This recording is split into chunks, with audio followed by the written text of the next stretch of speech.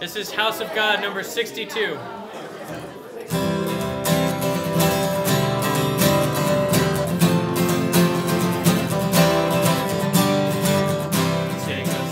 This is my ninth year in campus ministry here at Rutgers. Uh, it's about my fifth or sixth year as director of the Catholic Center.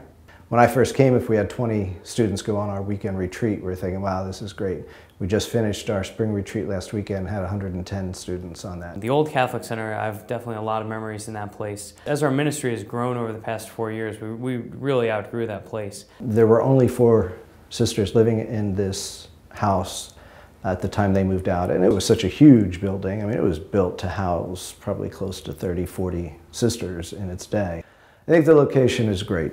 Uh, it's right across from Old Queens, right next to St. Peter's Church, all uh, planned through the Diocese of Metuchen. It's great to have a new building, uh, not necessarily because the building is going to attract, you know, 50,000 students to come be part of our organization, but it's just great that we finally have a, a, facility that reflects the quality of what we're doing. The whole place has Wi-Fi access, so the students, wherever they are, can have internet access. There are several meeting rooms which can be used for meetings, conferences, but then during the day they're all available. I come here a lot of days in between classes to study.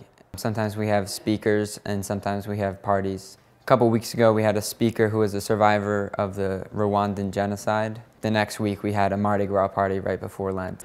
While the building is important, it's what we do uh, that makes the building important. And so the work we do on behalf of the students for their own spiritual formation, their spiritual welfare is what really the ministry is about. And, and the building just gives us the tools and the resources to be able to do that uh, more effectively.